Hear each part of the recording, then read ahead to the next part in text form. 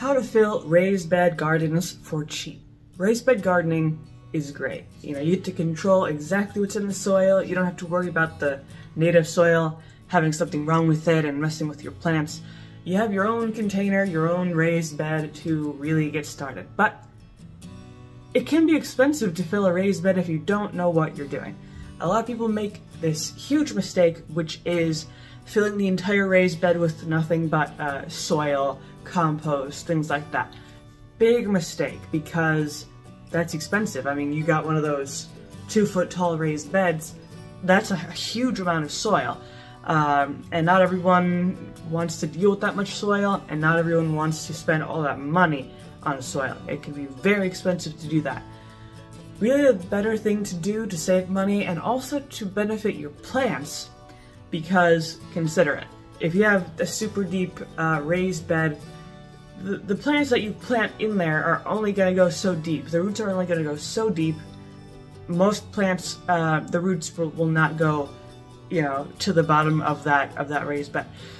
The much better thing to do is to instead, at the very bottom of your raised bed, um, you can put some cardboard uh, layers at first, then put in a bunch of logs, twigs, just lots of uh, tree materials, basically natural materials, maybe some leaves thrown in there. Um, but but mainly you're gonna have these big kind of blocks of um, woody material and that's going to form the bulk of the bottommost layer of your um, raised bed. Doing this is beneficial because think about it. You got these really big chunky layers of uh, wood and other natural material, leaves, twigs. Then, once you have a nice layer of all of that, you then you put on all your soil, like, you know, however much soil you want. Doing this will ensure that your plants have plenty of soil to grow into, and then it also ensures that at least half of the raised bed uh, is filled with something that is not expensive at all. You know, you can go out uh, onto your land, I'm sure, and just get some tree materials for free, basically. And uh, there you go, your, your bed is half filled already. But the other bonus of doing this is that over time, those natural materials, the logs and the twigs and things like that, they will naturally compost and settle down into the raised bed. So continuously, your plants will get more and more nutrition from this natural compost that is just breaking down naturally over time within the raised bed itself. So this not only saves money, but it also saves you a lot of time because again, you don't need a separate compost bin to do this. You're already kind of putting these natural materials into your raised bed directly uh, to start composting uh, just automatically uh, on its own. So this is super beneficial and it really doesn't take that much extra uh, labor or time to do it. Now, another tip that's pretty important if you want to save money uh, filling your raised beds is consider what else besides the logs and twigs. What else are you adding to your bed to make up that soil? Are you buying, you know, packets of uh, potting soil or are you trying to make your own soil. So this this makes a big difference because you know, of course you could buy some really cheap bags of potting soil and hope for the best, but the problem is that really cheap potting soil is made very cheaply and probably is not going to have the best nutrition for your plants. So that's not great because obviously, you know, you might save money on that soil, but then your plants might be stunted, they might be small, they might not produce the, the produce that you wanted them to, to make you know, your beefsteak tomato might become a cherry tomato uh, because it doesn't have enough nutrition.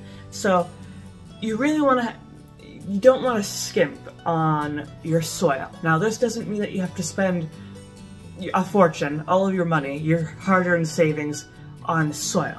Um, I discussed in another video that really the best way to do this is to make your own soil, but try to do it kind of as as independently as you can. So, uh, like one of the tips I, I, discussed before was that peat moss is an important uh, component of soil if you plan on building your own. And you can usually find peat moss naturally. You know, if there is a forest with pine trees anywhere nearby, you can find peat, peat moss for free. I mean, back in the day, I, I used to just go out into the forest and, you know, once these pine trees drop their needles year after year after year, you dig into the ground, it's pure peat moss. It's like just this black gold that you can use for your garden. So you could take that right out of the forest, you know, a few shovels at a time, and uh, use that. Besides that, of course, you can get some compost. Now, for those who are lucky enough to have some um, farm animals, even chickens or goats, you can use that manure for compost. So, you know, chickens, if you have a chicken coop, their bedding can be used uh, eventually for compost and it, the manure. Uh, same with goats and cows. You know, I don't know too many people with cows, but if you have a cow, of course, you can use that manure as well. And if you don't have any of those animals, of course, you will have to go to uh, the store to buy some uh, manure. But fortunately, like cow manure, things like that, it's pretty affordable, so you don't have to worry too much about that. Then the final uh, product of, of the whole uh, soil building process is some sort of material to help drain the soil. Usually vermiculite is best. Um, you could go for perlite, like another kind of stony um, just material to break up that soil and help it drain better. Do not use sand from a saltwater beach. I thought about doing that once and then I realized that if you do that, the soil will be so salty that no your plants will just die. So don't do that. Freshwater sand maybe, but you have to do some research. It's, you know, be careful where you get your drainage material. I would argue that building your own soil, it can be a little bit expensive, but it's usually not that much more expensive than just buying big bags of potting soil. And the benefit is that building your own soil, you have a higher quality product for your plants. So, I mean, if you do it right, you don't even have to fertilize your garden because there's already so much nutrition, natural organic matter that's going to keep breaking down and become even more nutritious for your plants.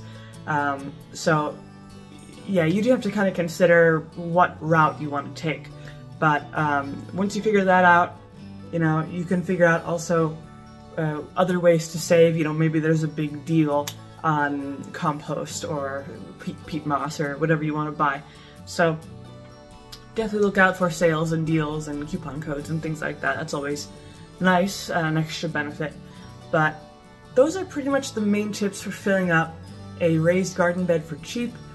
Now, a bonus uh, tip I would offer is that you don't have to buy a super expensive raised garden bed because of course you can buy the beds themselves. Sometimes they're made of metal, sometimes they're made of wood, some they're, they're two feet tall, three feet tall, you know, whatever you want. Now, in my experience, some of these I can see that they're very expensive, you know, like some of the metal ones especially. They're nice, they will last a very long time, but they're very expensive. Uh, and, you know, I don't want to spend that much money on a, on a simple raised bed. So you could build your own raised bed to make it cheap as cheap can be. Fortunately, building your own raised bed uh, does not cost that much, uh, usually less than $100. You just need some really simple, sturdy wood planks, put them together, build a simple raised bed. Obviously, it's going to be more expensive the larger and taller the bed is, and you do have to have a little bit of woodworking experience to make sure everything's sturdy. But besides that, um, I would say building your own raised bed is the best thing you could do. I mean, you, you don't even need wood planks. Like if you just have some bricks or blocks, like concrete blocks sitting around, you could put those uh, for your garden bed.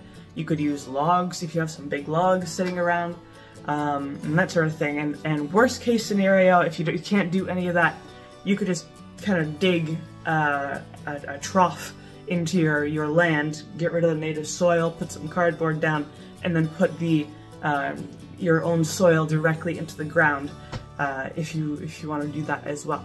So those are just the options uh, you can look into if you're curious about you know the cheapest of the cheapest ways to um, you know make sure you have this nice gardening area. So Hopefully this video was helpful for you. Uh, if you have any questions, of course, you can comment in the comment section down below. Um, if you like the video, leave a like, maybe subscribe, and I make videos a few times throughout the week, so don't miss those.